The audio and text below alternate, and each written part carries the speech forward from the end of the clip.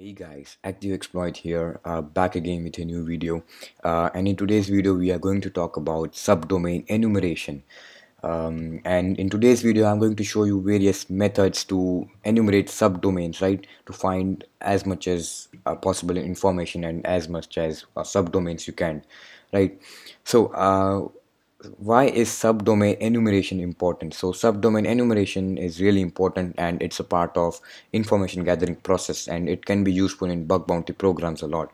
Uh, so let's say uh, you have participated in a bug bounty program uh, and the company which you participated for the program in uh, might be working on a subdomain years ago right? Uh, and after that they might have stopped working on that subdomain and it might contain vulnerabilities right? Uh, which they still haven't patched so uh, uh, they might also have forgot to remove it right?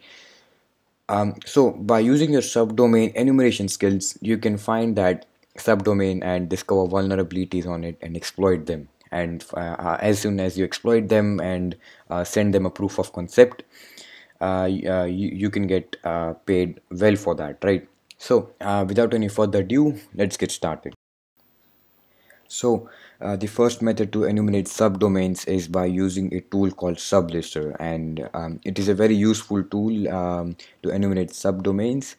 So first of all uh, you, you'll actually have to install it on your Kali Linux machine. Uh, it's not uh, it's not installed by default right? So as usual we will first of all start by opening a terminal and uh, now we shall proceed to um, install that tool right? So to install the tool you have to say apt get install sublister. Uh, note that um, instead of e I have put up over uh, I have put up 3 over here right? So just uh, wait for the command to complete and it says um, sublit sublister is already the newest version. So I already installed this tool and I don't have to install it again right? So um, you can just fire up the tool by saying sublister and pressing tab to autocomplete right? And it says it requires an argument called d which stands for domain. So uh, let's have a look at what arguments can we give to the command. So uh, let's say sublister dash h. And uh, so we will first of all have to uh, uh, uh, specify a domain right? So we will first of all have to specify a domain uh, using the dash d flag right? And it also has a sub brute uh, brute force module um, and we can give the number of threads and also uh, first of all to begin with uh, we, uh, we will have to specify a domain name right? So uh, let's say sublister dash d and I'm going to give yahoo.com as the domain name right?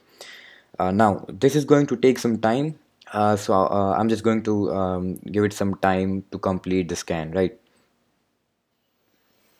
So uh, the scan got completed and uh, it took around two to three minutes um, for for the scan to complete right? Um, and as you can see we find a lot of subdomains over here. Uh, and and we even find some hidden subdomains such such as admin-hv1.obs and so on. So uh, subdomains like this uh, you can just visit them and you know try to enumerate uh, uh enumerate a bit uh, on them and find vulnerabilities and exploit them and report to the company right? Uh, so this was the first method to enumerate subdomains and now let's move on to this second methods which is by using Google Dorks right? So Google Dorks if, if you are not familiar with Google Dorks Google Dorking I would suggest that you should first of all watch uh, a video on Google Dork dorking, right? Google hacking. So uh, to find subdomains related to yahoo.com, we shall we shall uh, begin on with site and colon and let's say yahoo.com. Uh, and as you can see you only have uh, results for yahoo.com and the subdomains uh, of yahoo.com right so as you can see you see like there are a lot of subdomains over here such as ca.yahoo.com uh, greetings.yahoo.com and if you have a look at the second page as you can see you have malaysia.yahoo.com and so on right? So if you try to dig in deeper um, uh, you'll get a lot of information using this right? Uh, so let's have a look at the third page. Uh, and it says we okay we have one finance.yahoo.com subdomain um, uh, we have mobile.yahoo.com let's have a look at the fourth page. And we have smallbusiness.yahoo.com and so on right? So uh, you can use google dorking to you know also find subdomains.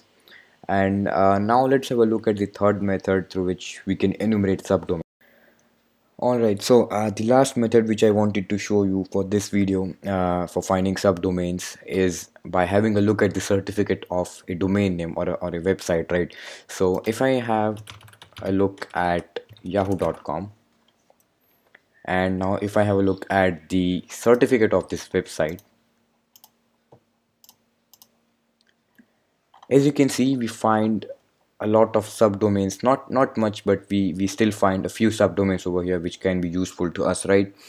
Uh, so as you can see we were find we were able to uh, find subdomains related to our target and uh, these methods can really be important and useful in real life scenarios right?